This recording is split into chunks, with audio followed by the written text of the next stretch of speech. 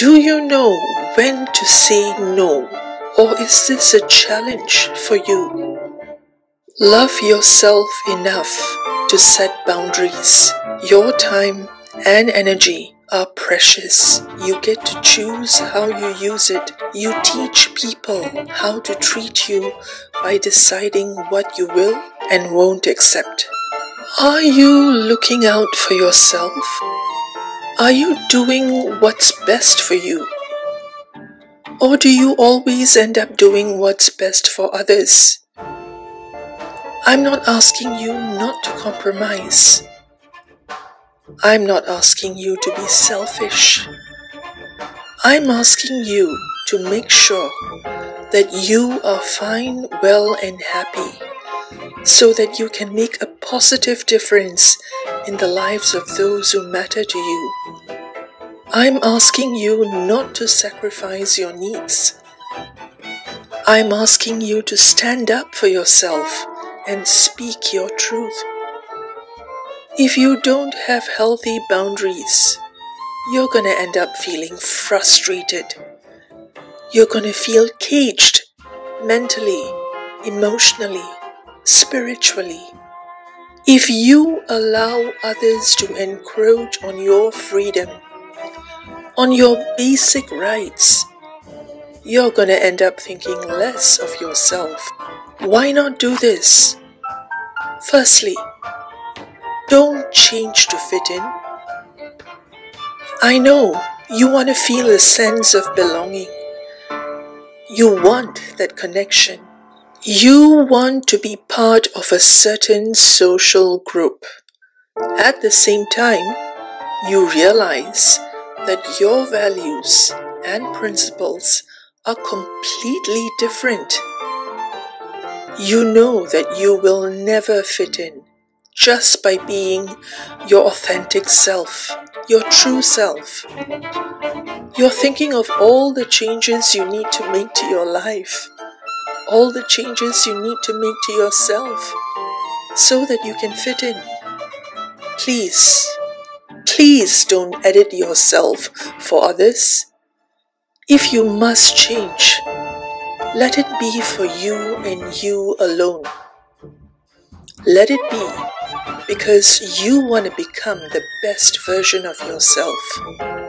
Any other reason will not give you a productive or a lasting outcome. 2. Have goals unique to you. When you're part of a community, activity, or team, the interaction is bound to have some impact on you. It somehow enters your system. This may influence your goals, both long term and short term. The purpose of having goals is to push you the extra mile so that you can explore your potential. If your goals are based on other people's achievements aspirations, and interests. You risk settling for less than you ought to aim for. You may even lose interest in achieving these goals. You are likely to underachieve. Why go down that road? Why not make a conscious effort to set goals based on your inclinations, your capabilities, your desires. At every milestone, review your goals. Know exactly why you're pursuing them. If the reason is you, and only you, you're on the right track.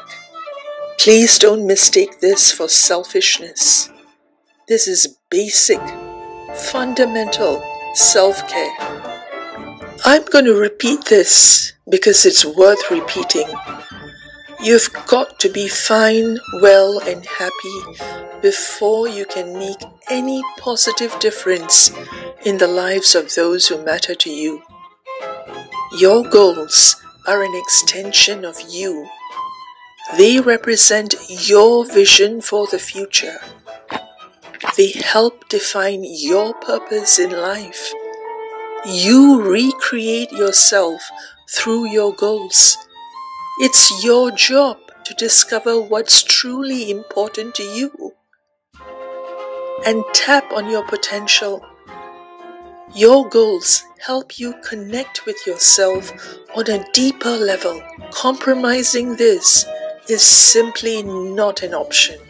Lastly, be the one to decide what's best for you. Be the decision maker in your life. You are given an opportunity to experience the gift of life. No one experiences life the way you do, meaning, you know best what fulfills you. You know best what gives you a sense of achievement. You know best what makes you happy. Make sure that in your life you are in the driver's seat. You determine how fast you want to go. You choose the route that you feel safe and confident traveling in.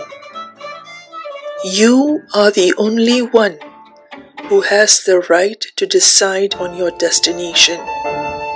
It's a whole lot of freedom. Don't trade it for anything. It's a huge responsibility. Own it with confidence and conviction.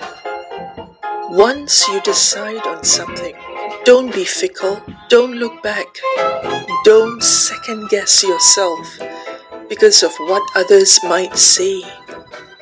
Don't hesitate because of what others might think. This doesn't mean that you shouldn't compromise. Healthy relationships require compromise but it should not be at the expense of your authenticity. Trust your intuition. Respect yourself first. And most importantly, speak your truth. At all times, you must have the courage to stand up for yourself. Have crystal clear boundaries so that you can live your life to the fullest your way.